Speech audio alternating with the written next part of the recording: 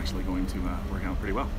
If I sit behind you, it looks like a giant. Oh shoot, it's going live too. Already? Yeah. Well, that's right. This one actually goes. All right, good morning, guys. Michael Batiste from the Elk Calling Academy here at the Western Hunt Expo in Salt Lake for day one. And of course, this man needs no introduction. I'm sitting down with Jason Phelps this morning. Don't, don't give me that much credit.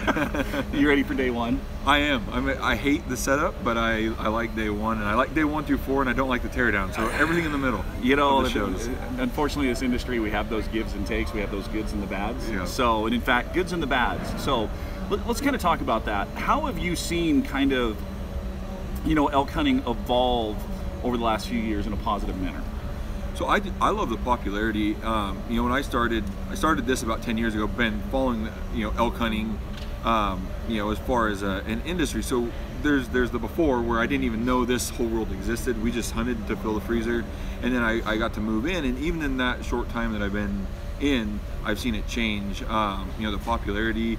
Well, even when we started, yeah, our elk calls have got more popular, but um, we used to sell calls during two months of the year, right? July and August. Now people are on fire, excited year round. I, we're selling elk calls from January 1st to December 31st and everywhere in between at a pretty steady rate. We still get the big spike, July and August. So I think the the, the fire's there. Um, you know, some of the, the video series that have been going around, I, I don't know if that's the whole uh, impact or if it's just social media, but I get a lot of calls now from guys out east, like their once in a lifetime dream hunt. They're just doing it. They've, they've made the decision you know, what calls do I need? But I know ultimately that that's there. So I think there's a lot of, uh, you know, hype built around it right now. Guys just getting out and doing it because there's some, you know, over-the-counter opportunities. I just think it's on elk hunting, um, you know, with the, and, and elk calling is just kind of, uh, you know, elevated right now. You know, and we've also heard that the baby boomers, you know, they're starting to retire from hunting. Our numbers are starting to drop. Uh, you know, so there's a big push for putting or getting new people introduced.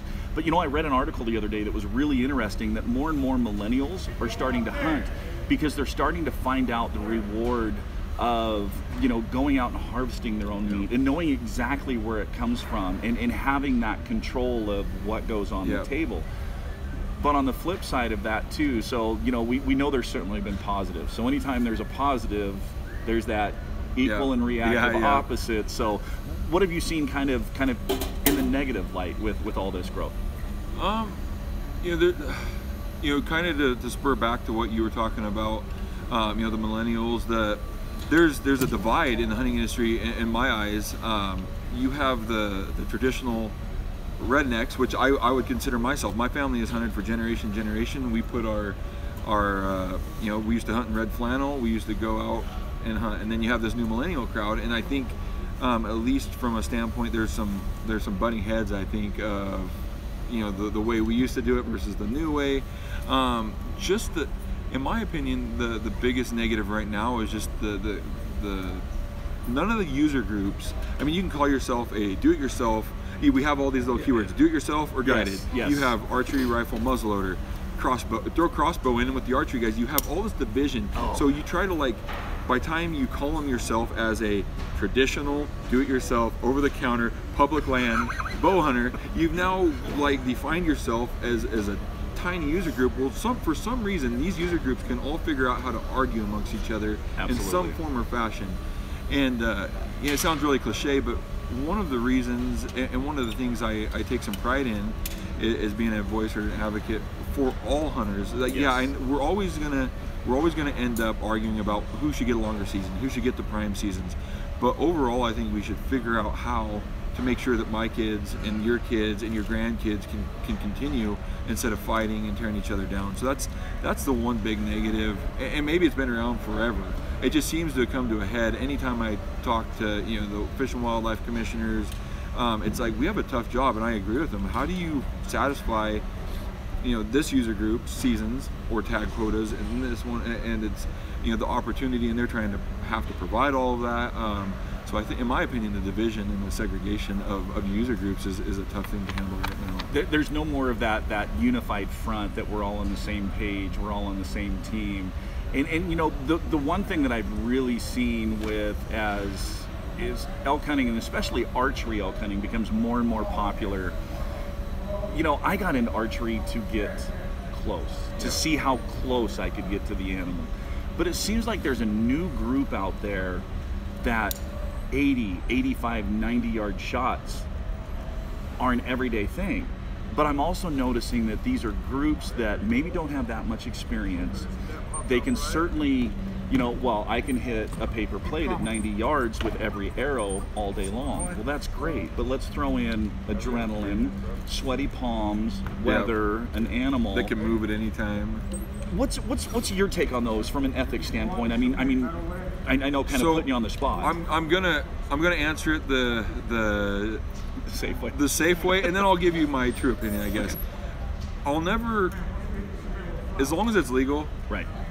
I'm o- it's it's acceptable. Right. But now acceptable, i you know, we'll, we'll, we'll maybe dissect acceptable. Um, yeah, a lot of us, you know, pound the 3D ranges, we go to the mountain challenges, we do all that, and we're pretty competent shots. My opinion, you know, being a being a elk caller, I want to get that thing as close as possible. I'm more proud of the bulls, regardless of size, that I've shot under 10 yards, versus the bulls I've shot at 30 or 40, 50 or 60. I'm, you know, I've still never. Uh, you know, I put a follow-up shot in a bull out to you know 75. That's a different story. But that's a different you know, story. You know, Yeah. initial shots. I think my longest shot ever has been right about 45. Yeah. Um, and that that's getting comfortable. I'm fairly so for me, and, and this is where I think we all have to really peel back and take a look at ourselves. Is it's for you? What Right. are you? Everybody's different. There are some you know guys that can shoot. But then you also have to figure out, yeah, you can shoot. I don't- you can hit a three-inch circle at 100 yards every time, and maybe you could do that out in the woods with your adrenaline going because you're maybe you got ice flowing through your veins. But can you do that and guarantee that elk's not going to take a step? Can you do that and guarantee that the wind's not, you know, that you've read the wind perfectly all the way there? Because a 100 yard shot, you're gonna, you know, you're gonna have some, um, you know, a- environmental issues, you know, or, or, and, and stuff that, that's gonna affect your shot. And so that's where I think, you know, by keeping it to 45, I kind of eliminate any any uh, you know chances Any of, variable that you yeah I, I have a lot more control over that. yes. yeah that elk still may take a step. That elk still may jump the string. But I've, i think at that point i've limited you know the possibility of that happening or or limited the the uh, you know the to, to what extent Yeah. that, that they can jump or they can dodge or they can move. Um, my arrow's going to get there a lot faster. And so for me uh, i think i'd have just as much fun calling those things in close. Uh, you know 45 is about my max. There are and then you, you throw in the stuff like the frontal shot. What you better be pretty confident you know confident that you can hit that that. You know, there is a uh, a four by 16 type slot that works there, but I really want to hit it in that you know four by Yeah. six type shot. And so for me, that's typically going to be 25 and under, and, and I'm going to want that bull to be still. Um, you know, if he's 10 and under, I could start to you know shoot when he's not completely stopped. But um, you know, all that stuff goes through your head, and then your ability to like figure out where all the vitals are at different angles and, and where the bone structure is. You know, all that stuff. You need to be able to do that. Yeah, we can shoot foam and hit a ring all day, but there, when you're shooting at a real animal and you need to kill the thing, you need to put a lot more uh, thought into where you're hitting it and what that arrow is going to do once it gets there. Andy, good morning. Thanks for popping on. So, yeah, no, I, I'm with the same way, and I've, I've taken the frontal shot, you know, a few times with great success. And yeah, you hear, hear everybody, well, well, it's a volleyball size opening. Me, I'm old school, aim small, miss small. Yeah. I don't want to hit a volleyball. I want to hit a tennis ball or a golf ball.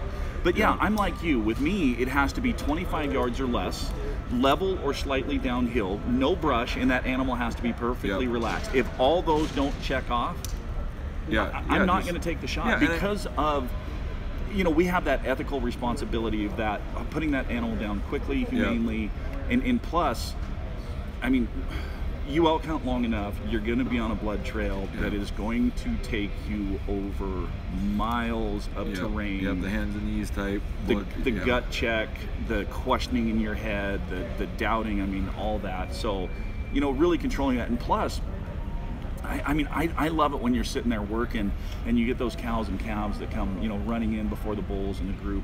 And I've had calves a few times stop right next to me and just sit there and try to nibble the leaves on my Yeah. shirt. And you know, you're kind of giggling, trying to hold your composure from blowing them out. And yeah, right, right with you on that. So, all right, I, I know it's it's day one. You guys still have a little bit to uh, get going. So one last thing, Okay. the new AMP Angry Mountain Production Series. Let's let, let's Yeah, the- touch on that real quick. The tradition series. So, we, me and Nick Schmidt were uh, invited to be part of the Land of the Free One, which was the successful series from Born and Raised Outdoors. and we got to see the positive side of hunting. Um, you know, the reactions. There was really nobody. Um, you know, putting it down. It brought the hunting industry up. Um, you know, it brought a lot of excitement, and we had always kind of dabbled in the. We were the group that never produced anything. We always kind of called ourselves a group. We hung out there. and We're like, let's just do it, guys. Uh, We we knew, and everybody knows our strengths. Like I'm not the funniest guy, and Charlie's gonna be. You know, we knew we knew what every strength was, and we had some good hunts. And like, let's just go film it and see what we got. Do we have enough to do a series? And so we did it. We we but we didn't stop at just archery elk. We went and did some muzzleloader elk hunting. We went and did some rifle mule deer hunting. Um, kind of some of the stuff we grew up doing. Um, I think we're on episode 23 or 24 now. We're getting into the mule deer hunting, uh, but it's been a pretty huge success. Um, you know, from our standards. The first year, kind of didn't really even have a YouTube page, so we launched it. Um, it it's pretty good. I, I recommend people go check it out. If nothing else, you're gonna laugh at John and Charlie. Um, we'll see a few elk die, see a few deer die. Um, but John, John and Charlie hunting the Shire of Idaho. Yeah, that yeah. still that still cracks me. oh, there are a bunch of goofballs. But uh, no, we- I hope what you can see that is how much fun. Um, you know, we all kind of came from a tradition where we hunted with our families. There were, Right. really was never a question on why or when we were going to hunt. Is we were going to do it as soon as we were old enough to do it. Um, got into that. Uh, but then our traditions kind of changed. We wanted something else out of hunting. I didn't want to drive around clear cut to clear cut. I wanted to be able to go hike in five miles. Um, so I found this group of guys, or we kind of all found each other, and we all hunt the same way. So this is kind of our, our new tradition. Right. Um, and so that's kind of what we're trying to explain to this. Well, Andy, who's who's watching, says, uh, you know, when you talked about the ethics standpoint, he says he couldn't agree with you more. So it's nice nice to see that people Yeah. are out there that have that same belief. And then he says he's, that he's really enjoying the uh, tradition series. So, Good, so good. you know, hey, like I said, day one is always kind of hectic. Always appreciate you sitting down chit chatting with us. So for you guys, go follow uh, Angry Mountain Productions on YouTube. Check out their video series. And uh, you know, this is just video one of day one here at the Western Hunt Expo. Stay tuned. Thanks for tuning in. As always, keep calling, keep practicing. Most importantly, though, have fun, guys. We'll see you guys on the next video. Jason, appreciate it. Thanks for having me. You bet. I didn't know if I had a bloody nose or if I I needed to sneeze the whole